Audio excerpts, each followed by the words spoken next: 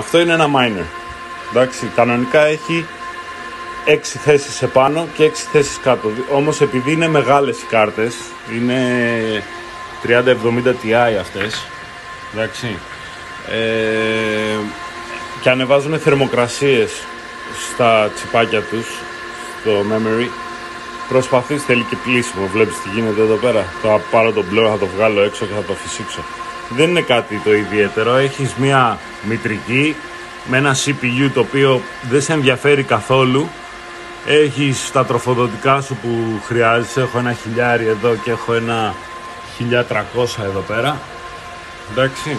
Το 1300 το έχω να σηκώνει και το motherboard να σηκώνει και τρεις κάρτες. Και το άλλο είναι για τις άλλες τρεις. Τώρα δεν είναι κάτι. Κουμπώνεις ας πούμε στις PCI τα ε, τέλος πάντων το κατσιετικό στο μυαλό μου. Ή μπορείς να έχεις adapters εδώ πέρα όπως βλέπεις αυτά. Ε, θέλει καθάρισμα τώρα ρε φίλε και ντρέπομαι που θα δείχνω έτσι. Αλλά δεν είναι κάτι τρελό. Αυτός είναι, αυτά είναι τα risers. Εντάξει, το οποίο πάει το καλωδιάκι και κατεβαίνει στην PCI εντάξει, αυτά είναι ε, adapters από, το, από PCI σε USB που έρχεται μαζί με το riser.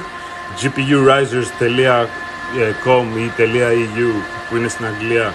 Δεν ξέρω αν είναι EU ή αν είναι UK αλλά GPU Risers έχει τα καλύτερα risers αυτή τη στιγμή αθάνατα.